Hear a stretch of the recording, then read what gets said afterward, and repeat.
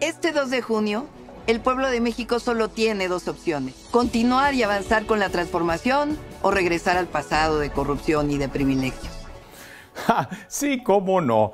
Primero que nada, candidata, este comercialito mentirosón está basado en la falacia blanco y negro que plantea elegir entre falsos dilemas.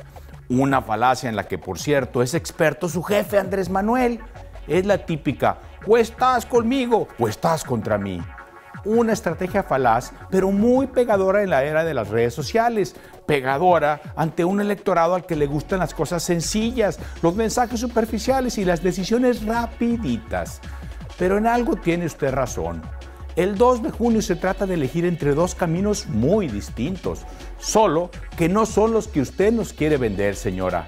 En cambio, los votantes tendremos que elegir entre expertos o porristas, razón o caprichos, insultos o debate, autoritarismo o división de poderes, destrucción irrestricta o construcción inteligente, adoctrinamiento o educación, aspiracionismo o conformismo, energía contaminante o energía limpia, luz cara o luz barata, para estatales obesas o para estatales eficientes, regalar peces o enseñar a pescar empresarios como enemigos o empresarios como aliados, caprichos de un iluminado o que gane la mejor idea.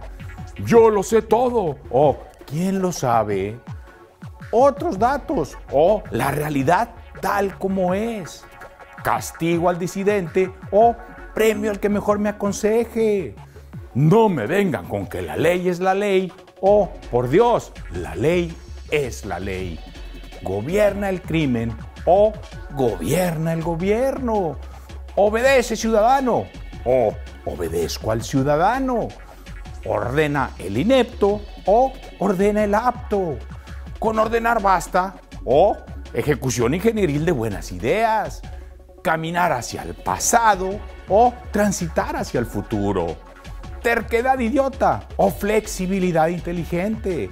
Pobreza buena para ir a la segura o seguro vamos con menos pobreza, militarización o sociedad civil, más muertes y menos medicinas o más medicinas y menos muertes, redoblar apuestas perdedoras o ajustar para ganar, o estás conmigo o estás contra mí, o cómo avanzamos juntos, rollo chicharronero o resultados medibles y finalmente, diarrea verbal insulsa o palabras y hechos que sí pesen. Y usted, doña Claudia, está del lado equivocado en estas dualidades, porque no nos equivoquemos. Sufragar por Morena es votar por un pasado fallido. No compremos entonces estas falacias mentirosas. Equivocarnos el 2 de junio nos saldría muy, pero muy caro.